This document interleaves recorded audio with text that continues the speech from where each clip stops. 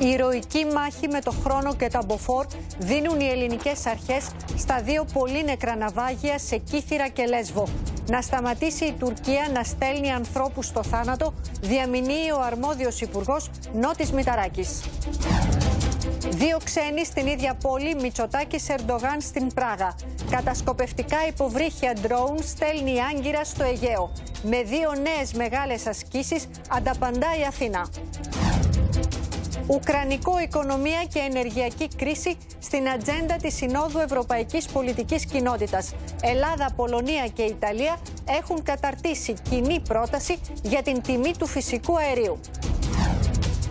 Σύζυγος σε έξαλλη κατάσταση μαχαίρωσε τη γυναίκα του στην Νίκαια. Βίντεο ντοκουμέντο.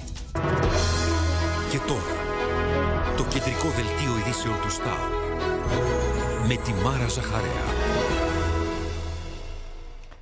Καλησπέρα σας κυρίες και κύριοι. Ρίγη συγκίνησης προκαλεί η υπερπροσπάθεια των στελεχών του λιμενικού σώματος και της πυροσβεστικής, αλλά και απλών συμπολιτών μας να σώσουν μετανάστες σε κύθυρα και λέσβο. Δεν δίστασαν να πέσουν στη θάλασσα, ακόμη και να κρεμαστούν σε βράχια για να μην χαθεί ανθρώπινη ζωή. Οι εικόνες από τα ναυάγια στο Αιγαίο προκαλούν αποτροπιασμό για τους δουλεμπόρους που σπρώχνουν στο θάνατο αθώες ψυχές. Στα κύματα του Αιγαίου και του Μυρτώου πελάγους χάθηκαν δεκάδες.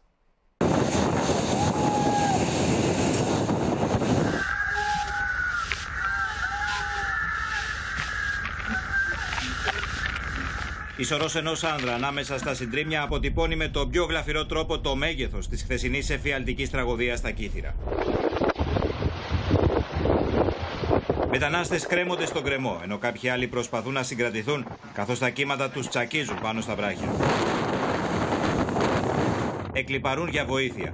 Οι απεγνωσμένες φωνές τους σκεπάζουν ακόμη και τον ήχο της αφηνιασμένης θάλασσας.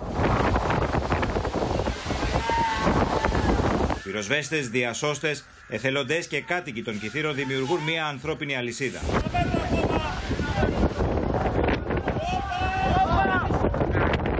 Κρέμονται στο κενό για να σώσουν όσο το δυνατόν περισσότερους ανθρώπους.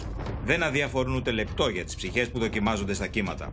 Last night we, we heard voices crying and asking for help. Ένα γερανοφόρο όχημα κατεβάζει σάκο και στη συνέχεια ανεβάζει με προσοχή δύο ακόμη μετανάστες. Την ώρα που ένας πυροσβέστης με κίνδυνο της ζωής του κρέμεται στο κενό για να παραλάβει ένα ακόμη άτομο. Η λέξη που ταιριάζει είναι η λέξη κόλαση. Νόμιζω ότι βλέπω σκηνές από την ταινία Τιτανικός. Μια απόλυτη φρίκη. Ε, είδα να επιπλέουν πτώματα, είδα ε, ανθρώπους να στυπιούνται στα βράχια. Το ιστιοφόρο με τους μετανάστες που προσέκρουσε στο διακόφτη Κιθήρων εξαιτίας των θυελωδών ανέμων ξεκίνησε από την Τουρκία με σκοπό να φτάσει στην Ιταλία. Η Τουρκία γνωρίζει τις αναχωρήσεις από τα παράλια της και δεν τις εμποδίζει. Οι δουλέμποροι θεωρούν ότι λόγω των πολλών μποφόρ δεν θα κινηθεί το λιμενικό σώμα, υποτιμώντας παράλληλα τον κίνδυνο, ενώ σύμφωνα με πληροφορίες του ΣΤΑΡ, οι διακινητές ετοιμάζουν να σπρώξουν και άλλες βάρκες προς την Ελλάδα. Στο ναυάγιο των Κιθήρων επέβαιναν 95 άτομα με χώρες προέλευσης στο Ιράκ, το Ιράν και το Αφγανιστάν, στην πλειοψηφία τους άνδρες. Διασώθηκαν 80 ενώ αγνοούνται 15 άτομα. Δυστυχώ όμω λόγω των καιρικών συνθήκων, των δυσμενών καιρικών συνθήκων, δεν μα επιτρέπεται να πάμε στο συγκεκριμένο σημείο με κάποιο πλωτό μέσο. I think uh, this is a time to really cooperate much more substantially uh, in order to avoid uh, these types of incidents uh, of occurring uh, uh, in the future and to completely eradicate uh, uh, the smugglers. Είναι υπεράνθρωπες προσπάθειες των λιμενικών που βούτυξαν μέσα στη μανιασμένη θάλασσα για να σώσουν αυτή τη γυναίκα. Βρισκόμαστε μία ανάσα από το σημείο πεταλίδιο που διαδραματίστηκε η τραγωδία. Οι ήρωες του Αιγαίου από χθες το βράδυ εκτελούν την αποστολή τους. Σώζουν ζωές, αψηφώντας κινδύνους, αψηφώντας τη μανιασμένη θάλασσα. Μπορεί για την απέναντι πλευρά του Αιγαίου οι μετανάστες να είναι ένας αριθμός. Για το λιμενικό μας σώμα όμως είναι ανθρώπινες ζωές.